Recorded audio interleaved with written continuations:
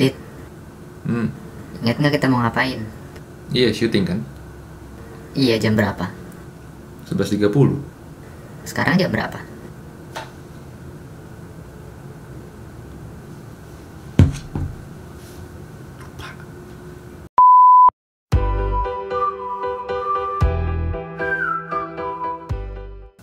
Hey, what's up everyone? Back again with me Adito di channel Adito Aditya. Kalau misalkan kita ngomongin WhatsApp, kita pasti nggak jauh-jauh ngomongin dari fiturnya yang bisa buat chattingan, telepon, dan kirim gambar, kirim voice notes, apalagi masih banyak yang lain lah ya. Yang di mana fitur-fitur yang disediakan oleh WhatsApp ini menurut gua udah cukup mudah untuk kita pakai dan tentunya meningkatkan produktivitas kita sehari-hari. Tapi gimana kalau misalkan gue bilang ke kalian bahwa ada fitur-fitur tersembunyi di WhatsApp yang bakal nge-support kita lagi buat lebih memudahkan fitur-fitur yang udah mudah tadi. Intinya jadi makin gampang lah kayak gitu. Nah, di video kali ini kita bakal ngebahas itu semua. Tapi sebelum itu, as always, gue mau ngajakin kalian buat subscribe ke channel Adito Aditya dan nyalain notification bell-nya supaya kalian bisa jadi orang pertama yang tahu kalau misalkan gue upload video baru. Feel free juga buat ngecek video-video gue yang lain, ada tentang hidden features di Android, hidden features di iOS, ada juga tentang review Samsung Galaxy Tab S6 Lite, atau yang terbaru ada review smartwatch budget friendly dari Halo. Semua video-video itu linknya udah gue taruh di description box di bawah atau kalian bisa langsung ke channel Adito Aditya dan cek semua videonya. So, tanpa banyak basa-basi lagi, inilah 5 fitur tersembunyi dari WhatsApp yang gue jamin bakal berguna banget buat kalian.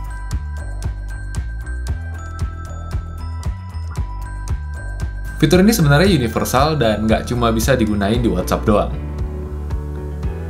Ngerti lah ya, intinya fitur ini bisa dipakai di aplikasi messenger lainnya. Dan menurut gue fitur ini sangat cocok buat kalian yang males buat ngetik sebuah kalimat atau paragraf yang panjang tentunya, dan kalian ketik bisa berulang-ulang. Ribet. Contohnya kayak gini deh, misalkan kalian mau uh, bikin ucapan ulang tahun. Nah, kalau misalkan kalian bikin ucapan ulang tahun kan panjang tuh. Dan kalian males dong kalau misalkan kalian ngetik hal yang sama. Nah, itu tuh, ngetik hal yang sama berulang-ulang dan untuk dikirim ke orang yang berbeda. Nah, fitur ini sangat berguna untuk mengatasi itu. Nah, fitur ini tuh sebenarnya sesimpel copy and paste, cuma lebih simpel lagi. Caranya gimana? Kalian cukup buka notes di handphone kalian, lalu kalian ketik deh tulisan atau kalimat atau bahkan paragraf yang biasanya kalian kirim secara berulang-ulang di WhatsApp. Contohnya kayak ucapan ulang tahun ke teman kalian, atau mungkin pesan template kayak I'm busy at the moment, I'll call you later. Atau bahkan kalian juga bisa bikin template broadcast yang pasti bakal kepake banget nantinya buat kalian nge-broadcast di lain kesempatan. Setelah itu, kalian bisa highlight semua tulisannya, lalu kalian copy. Nah, otomatis message yang udah kalian copy itu akan masuk dan tersimpan di clipboard dari keyboard kalian. Clipboard, keyboard. Beda ya? So, tiap kali kalian mau kirim message yang sama ke orang yang berbeda, atau bahkan ke orang yang sama, kalian tinggal masuk ke clipboard di keyboard kalian lagi-lagi. Kalian tinggal masuk ke clipboard di keyboard kalian, terus kalian bakal ngelihat message itu tersimpan di clipboard kalian.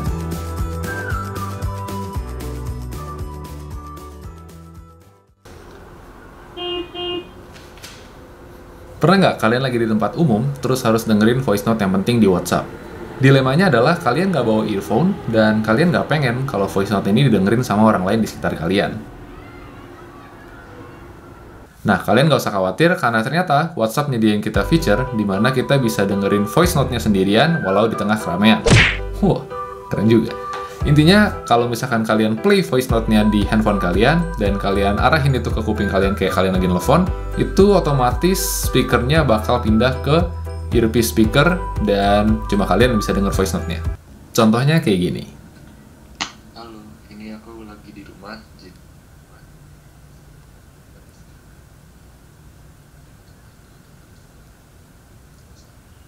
It works.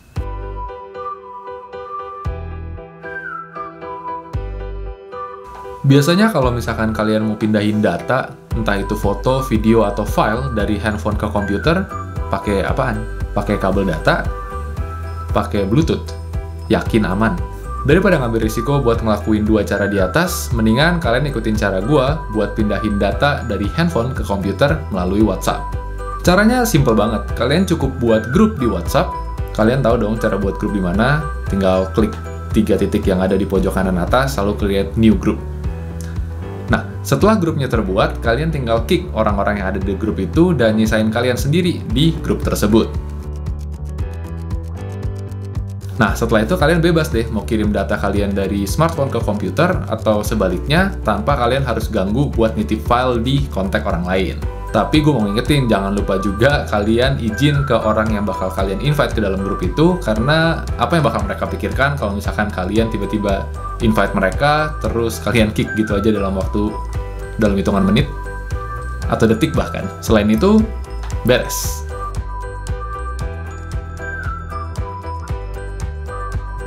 Personalized chat wallpaper di WhatsApp kita emang jadi satu hal yang bikin experience kita menggunakan WhatsApp jadi makin keren. Tapi kelemahannya adalah kalau misalkan kita ganti wallpaper chat di WhatsApp kita melalui settings, wallpapernya bakal keganti buat semua kontak yang ada di WhatsApp kita. Bisa nggak sih kita ganti wallpaper hanya untuk satu kontak aja di WhatsApp? Jawabannya bisa. Caranya adalah kalian masuk ke kontak di WhatsApp yang wallpapernya mau kalian ganti, lalu kalian klik three dots atau tiga titik yang ada di pojok kanan atas untuk masuk ke menu wallpaper. Setelah itu kalian bisa sesimpel pilih wallpaper yang mau kalian aplikasikan di chat tersebut.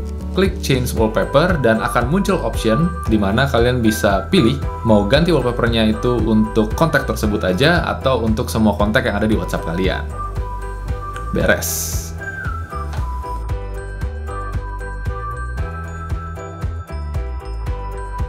Siapa yang di sini kalau chattingan suka pakai stiker? Ngaku. Nah, kalian tahu nggak kalau ternyata kita bisa bikin stiker kita sendiri di WhatsApp? Iya, bener-bener stiker yang semau kita. Mau kayak gimana, stikernya terserah, bebas. Mau tahu caranya gimana?